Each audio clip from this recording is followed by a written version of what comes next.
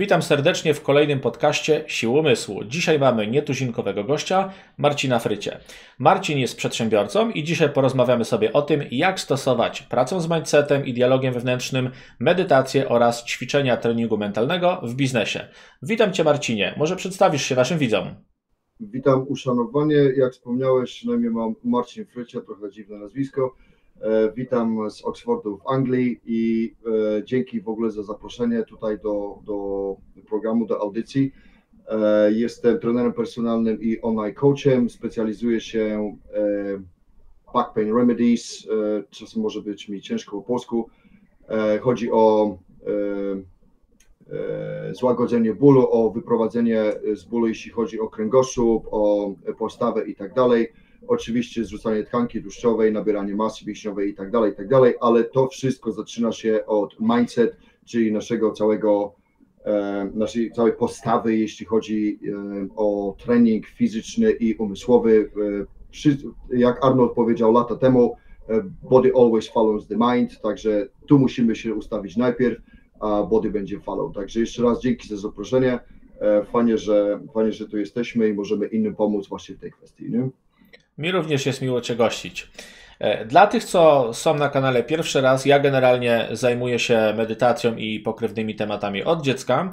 Ty wspominałeś, że również, e, mimo że nie oferujesz takich usług e, typowo mentalnych, też siedzisz w temacie. Może opowiesz nam co nieco, co jest ważne w przypadku prowadzenia Twojego biznesu, zarówno od strony przedsiębiorcy, jak i też od strony klientów, bo jeżeli współpracujesz z ludźmi, którzy chcą na przykład poprawić swój stan zdrowia, poczuć się troszeczkę zdrowsi czy schudnąć, no to wiadomo, nastawienie tutaj będzie odgrywało istotną rolę, no, ponieważ jeżeli ktoś ma złe nastawienie, to może na przykład za szybko zrezygnować. Może powiesz, jakie masz doświadczenia z pracą z mindsetem, dialogiem wewnętrznym, jak to wygląda u Twoich klientów i jakoś dalej na spontanie, na luźno wszystko się rozkręci. Super. E, tak jak wspomniałeś wcześniej, mindset to jest podstawa. Cokolwiek zaczynasz, jakikolwiek masz target, jakikolwiek masz goal w życiu, najpierw musisz sobie ustawić e, głowę, że się tak po polsku wyrażę. E, I kiedykolwiek mam nowego member on board, czy to jest online klient, czy to jest e, klient face to face, zawsze zaczynamy on mindset. Tak jak wspomniałeś, e, jest dużo przypadków, kiedy ludzie zaczynają e, e, powiedzmy jakiś task, jakiś job mają do wykonania, e, mają motywację i tak dalej i chcą, wiesz, hit it hard i zacząć od razu 100% in. Tak jak ja doceniam jak najbardziej taki, taką postawę, taki attitude, motywacja niestety wypala się bardzo szybko. Dlatego dedykacja zawsze bije na głowę motywację. I tutaj się kłania nasz mindset i może dla przykładu ja podam, e, wyjaśnię jak ja zaczynam swój dzień i jak ja doradzam moim klientom jak zacząć ten dzień. Żyjemy w XXI wieku, technologie są wszędzie, zawsze koło nas, 24-7, e, dlatego jednym z moich głównych tasków, głównych zadań dziennych, dziennie to jest nie zaczynać dzień od telefonu, od social media, od sprawdzania e-maili, messages i tak dalej, bo to naprawdę jest taki atak e, danych na, na głowę, kiedy człowiek rano wstaje, że po prostu to nie jest dobry sposób, żeby zacząć dzień. E, więc e, tak jak wspomniałem wcześniej, wracając do mojego przykładu, budzę się rano, wypijam małą kawkę, zaczynam od 10, 10 minut medytacji. Ja rozumiem, że nie każdy jest fanem medytacji i jest ciężko zacząć z medytacją, ale małymi kroczkami, ale codziennie i do przodu. To nie musi być pół godziny, e, próbować się wyciszyć i tak dalej. Zaczynamy od tak zwanych guided meditations. Jest mnóstwo lekcji dostępnych za darmo online. Ja też mam mnóstwo materiałów, którymi się chętnie mogę podzielić. Zaczynam dzień od 10 minut e, mojej medytacji, która się nazywa repattering, czyli repattering my brain. Chcę sobie ustawić głowę, E, jeśli chodzi o moje daily tasks i tak dalej. I dosłownie w kalendarzu ja jestem fanem wizualizacji i naprawdę do działa sprawdziłem to e, z setkami, jeśli nie ponad tysiąc klientów. E, wizualizacja to jest jedna z rzeczy, która naprawdę ciągnie człowieka do przodu, jeśli chodzi o jakikolwiek target, jakikolwiek goal. Także jeśli ja mam jeden z moich daily task rano, to medytacja, mam zaznaczone codziennie w kalendarzu na czerwono meditation 10 minut. Za każdym razem, jak ja zrobię tę medytację, zmieniam kolor na zielony, czyli już wykonałem pierwszy task, to, co to buduje ten mental resilience w głowie, dlatego że wykonałeś już ten pierwszy task, to jest po prostu niesamowita rzecz. I tak jak trenujemy nasze body, chcemy powiedzmy rzucić e, tłuszczyk czy zbudować mięsień, tak też musimy e, trenować nasz umysł, nasz, nasz mental health po prostu. I niestety w większości przypadków ludzie zaczynają od drugiej strony. Ludzie zaczynają atakować body, bo mam motywację, ach podjęłam czy podjęłem decyzję, startuję, wrzucam się na głęboką wodę, zakwasi mnie na amen, nie mogę chodzić przez dwa tygodnie.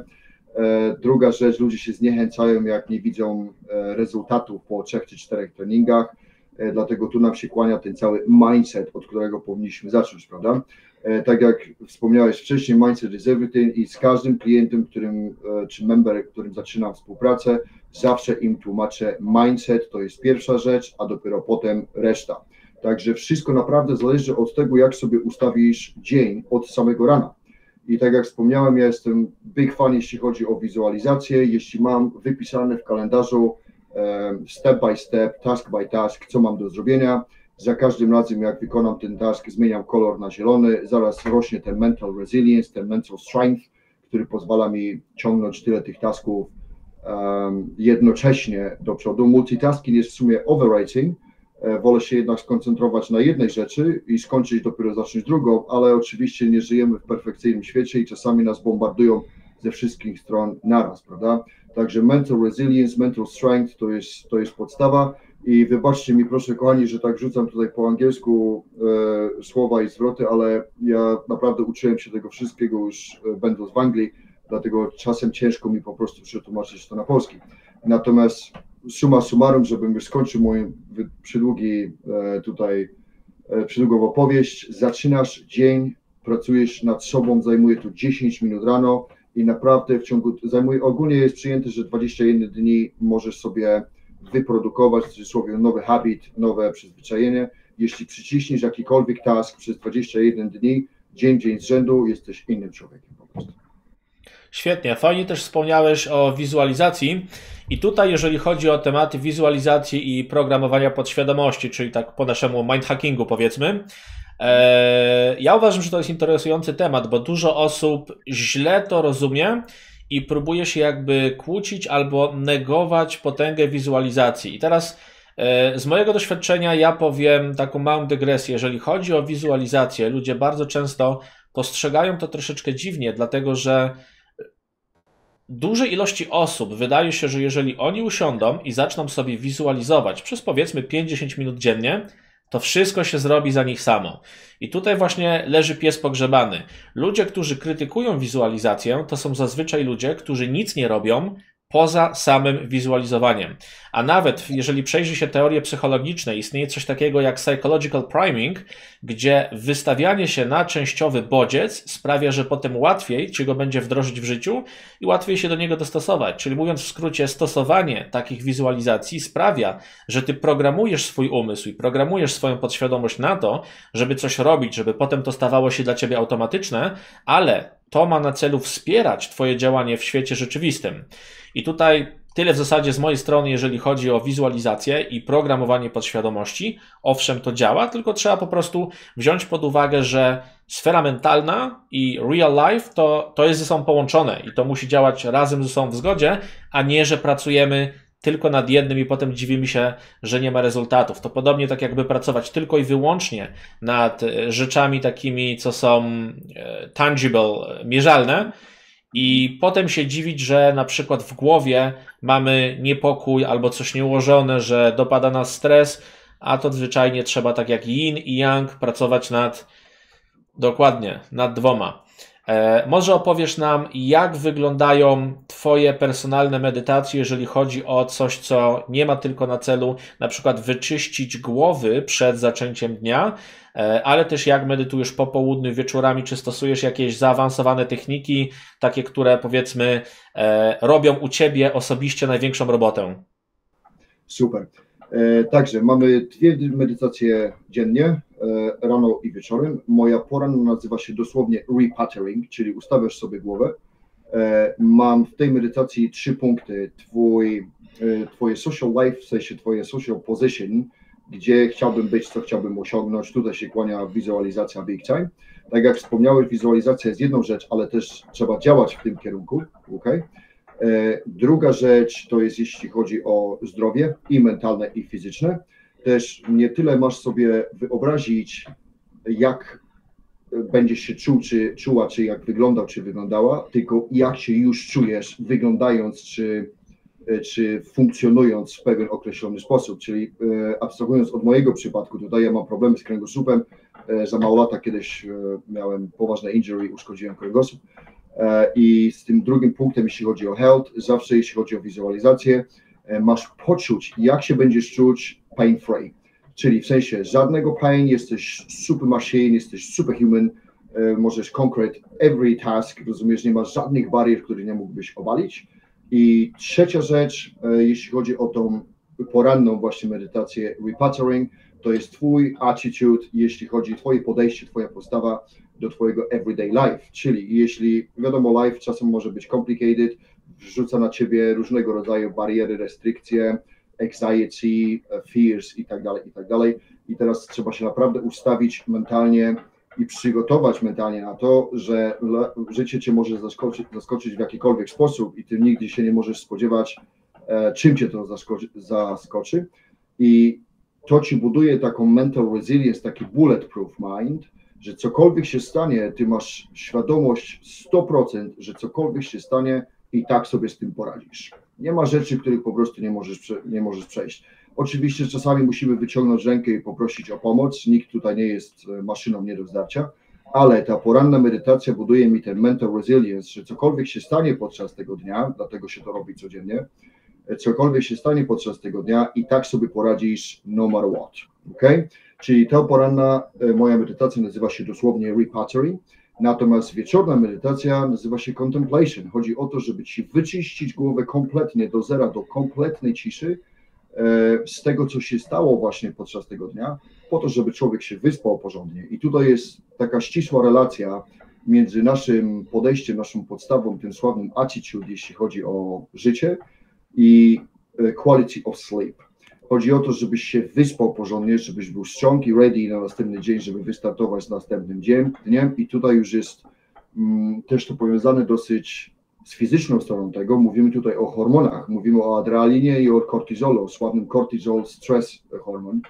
E, I zadanie tej wieczornej medytacji, e, contemplation, polega na tym, żeby ci kompletnie wyczyścić głowę, żeby cię wyciszyć, żeby iść do łóżka z czystą głową, a nie z tym, wiesz, bazy mind, z, y, z kilogramami, że się tak wyrażę, data, rozumiesz, który ci bombarduje głowę, czy zrobiłem to dobrze, czy zrobiłem to, czy zrobiłem wystarczająco, a co będzie jutro, a co będzie pojutrze i tak dalej. E, czyli reasumując, poranna medytacja nastawia cię, jeśli chodzi o e, nadchodzący dzień, a wieczorna medytacja wycisza cię po tym szalonym dniu, po to, żebyś się wyspał, wyspała, żeby wypocząć i żeby się obudzić na następny dzień, ready to conquer, ready to, e, to chodzi o to, żeby, e, żeby być ready, e, cokolwiek życie wrzuci na Twoją e, przysłowiową klatę, żeby sobie z tym poradzić no matter what. I tutaj jeszcze bym chciał jedną rzecz wspomnieć. Ostatnio odkryłem jak parę miesięcy temu następną gałąź, jeśli mogę się wyrazić w ten sposób, jeśli chodzi właśnie o medytację, o postawę, attitude i tak dalej, to jest stoicyzm. Dostałem w prezencie książkę i, i po prostu jest mind blowing, jak sami sobie możemy pomóc bez pomocy terapeutów, bez e, pomocy doktorów i tak dalej, i tak dalej. Jak sami możemy sobie pomóc? Wiedza to jest klucz do wszystkiego.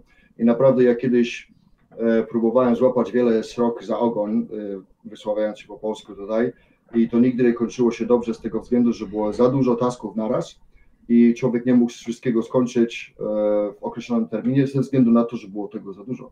I czego mnie stoicyzm nauczył właśnie, to to, żeby podchodzić do wszystkiego ze spokojem i reagować na wszelkiego rodzaju życiowe wydarzenia e, nie emotionally, ale rationally. Czyli moje racjonalne podejście do jakiegokolwiek wydarzenia, e, e, które tam życie na nas rzuci, raczej niż emocjonalne podejście do tego. I taki, dając tutaj szybki przykład, jak kiedyś się przyznaję, byłem straszny za kierownicą, strasznie się irytowałem ludzką głupotą, brakiem wyobraźni i takim egoizmem. E, aż przeczytałem któryś rozdział z tej mojej książki, właśnie Stoicyzm, i kompletnie mnie to rozwaliło. Z tego względu, że krótkie zdanie było: e, Ty się gotujesz w aucie, ktoś coś zrobił głupiego na ulicy, prawda? Ty się gotujesz w aucie, rzucasz tutaj mięsem, się denerwujesz, marnujesz sobie dzień, a ta osoba w tym drugim aucie nawet nie wie, co się stało i odjeżdża w siną dal i nie ma pojęcia, że zrobiła coś, czy zrobił coś e, złego na ulicy, coś, co cię zirytuje, prawda? I to było takie dla mnie eye-opener, jak my reagujemy emocjonalnie na, na różne wydarzenia, zamiast racjonalnie. I tutaj wys, wyskakuje pytanie naprawdę, czy to było naprawdę warte, żebym się tak zirytował, żebym sobie zmarnował dzień, żebym miał zdemolowany żołądek i głowę przez resztę dnia, a ta druga osoba, wracając do tego przykładu auta, ta druga osoba w tym aucie odjeżdża w siną dal i nawet nie ma pojęcia o tym, że cokolwiek się stało. I tutaj właśnie zmierzam do tego, że te poranne i wieczorne medytacje dają ci te, te, te siłę umysłu, żeby podejść do problemu racjonalnie, a nie emocjonalnie. Co do samej siły umysłu i Twojej praktyki, to ja też widzę, że stosujesz tutaj bardzo mocną strategię, to znaczy Twoja praktyka ma strukturę i wszystko, co robisz, ma konkretny cel. E, fajnie by było, jakbyś nam opowiedział, w jaki sposób do tego doszedłeś, żeby sobie tak to ułożyć dlatego że z tego co ja widzę, wiele osób do mnie przychodzi z pytaniami na przykład, jak zacząć medytować, y, nie mając w głowie żadnego celu. Trochę jak pytanie, co mam robić na tej siłowni, jak zacząć ćwiczyć. A kiedy się już zapyta taką osobę, ale czy ty chcesz zbudować masę mięśniową, schudnąć, zbudować siłę, czy wyżej skakać, albo na przykład, nie wiem, e, być lepszym w combat sports, no to nagle się okazuje, że a to tak się da, to można robić wiele różnych rzeczy. Myślałem, że, że trening czy medytacja ma jeden cel. To może opowiedziałbyś, e, jak ty to sobie ułożyłeś, zanim wdrożyłeś tę swoją konkretną strategię i co u ciebie spowodowało, że te kroki zostały tak połączone ze sobą? Pewnie jak najbardziej. Wiesz co, fajny przykład tutaj właśnie, jeśli chodzi o ustawianie celu i e, ludzi na siłowni. Czasem zdarza się tak, że podnoszę klienta i pytam go o jego target i jego goal i rzadko się zdarza, ale jednak, o nie wiem, po prostu chcę przyjść na siłownię i chcę być fit.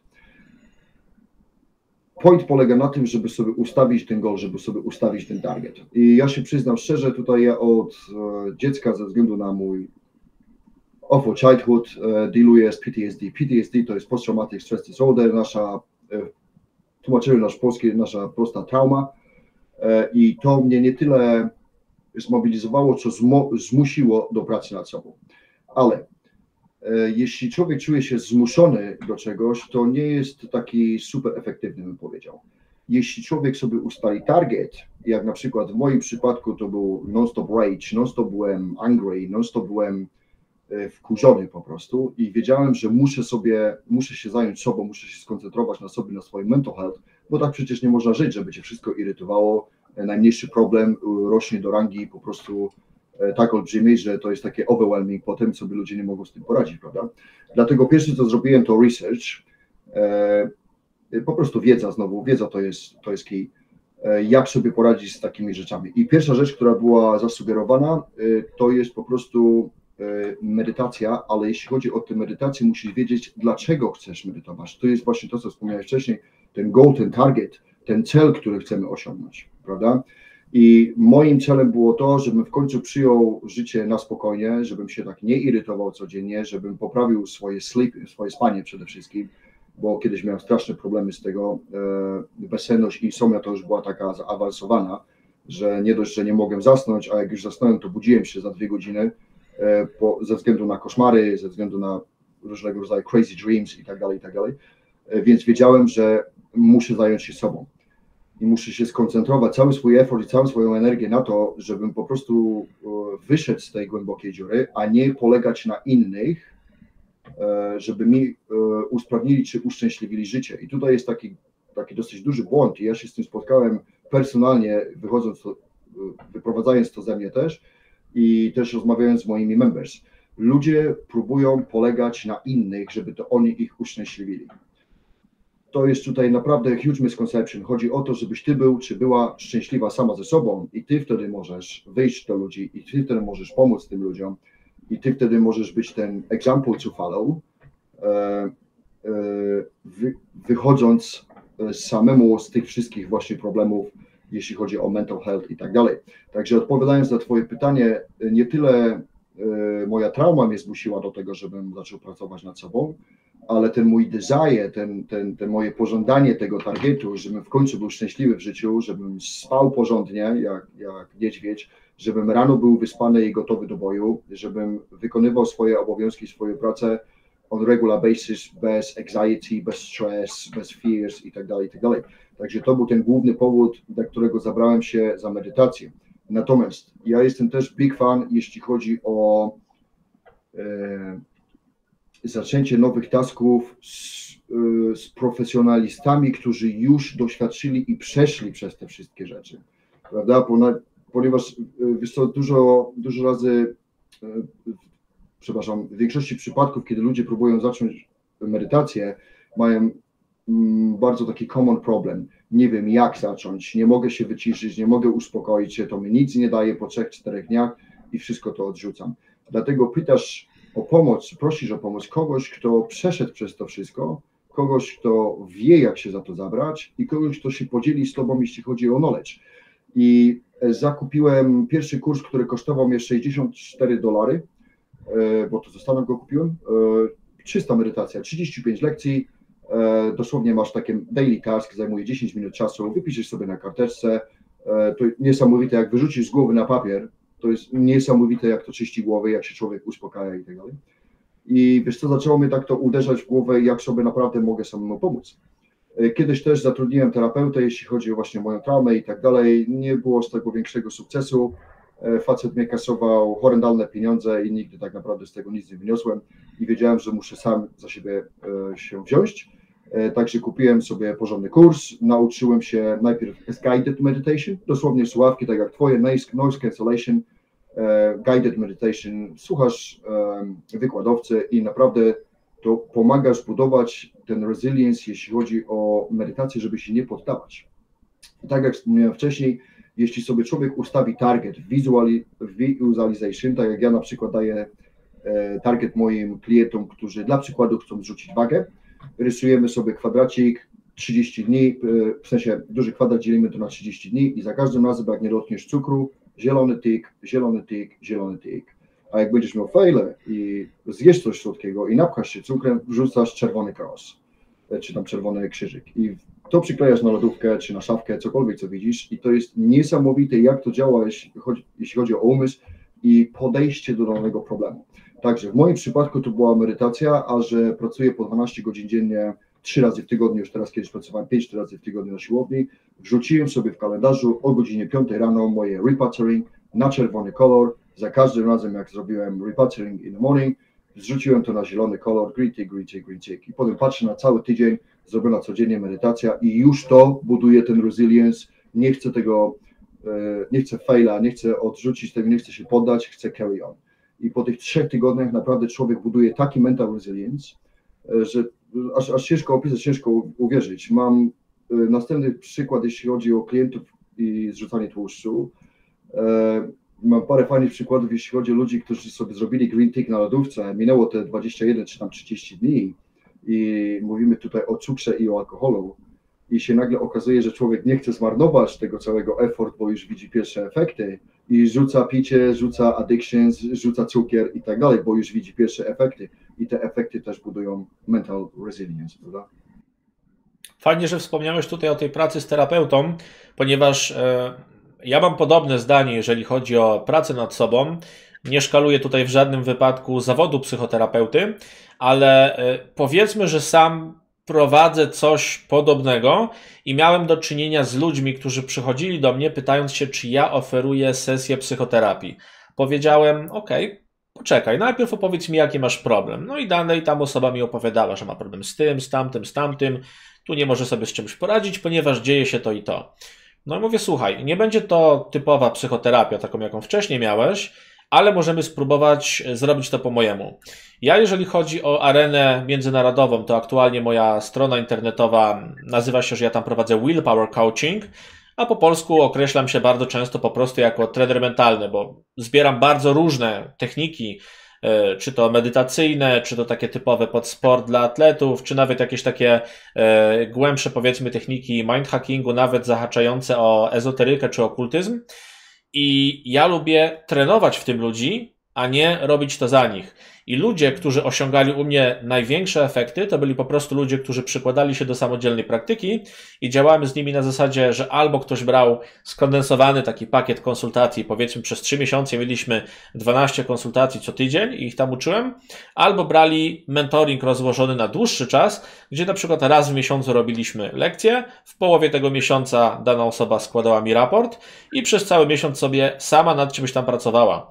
Ale puenta tego tutaj jest taka, że uczenie danej osoby, jak ma zrobić coś samemu, jeżeli ta osoba oczywiście faktycznie chce włożyć w to pracę, sprawdza się znacznie lepiej niż jeżeli ktoś przychodzi i próbuje zapłacić drugiej osobie po to, żeby ta osoba zdjęła z niej obowiązek pracy nad sobą, bo to się bardzo często albo w ogóle nie sprawdza, jeżeli ktoś nie chce pracować, albo jeżeli się trafi na nieodpowiedniego coacha, terapeutę, czy tam po prostu mentora, to nie ma nad czym pracować, bo ktoś przychodzi, coś powie, niby ma to jakiś sens, ale jak to zaaplikować, jakie ćwiczenia wykonywać, jak to się przekłada na życie, no i potem ktoś wychodzi z poczuciem, że czegoś się nasłuchał, ale w zasadzie dalej nie wie, co ma robić. Także ja tutaj się w pełni z tą zgadzam, że samodzielność jest zawsze najlepsza. Wiadomo, że samemu nikt niczego się nie nauczy, ale cokolwiek by to nie było, czy jest to praca z drugą osobą, czy to są kursy, książki, nie można się skupiać wyłącznie na teorii, trzeba to wprowadzać w życie i trzeba regularnie praktykować. Dokładnie tak.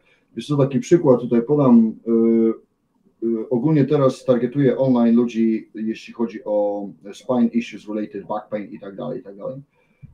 I dla przykładu podam jedną panią, którą trenuję z Middle East, tam Oman, ona mieszka. Jest tak self-motivated, że naprawdę moja praca była z nią super easy, ponieważ codziennie wiedziała, co ma do zrobienia. E, zajmowało jej to między 15 a 20 minut, workout jest zrobiony. Wzmocniliśmy cały core, wzmocniliśmy pupę, wzmocniliśmy nogi.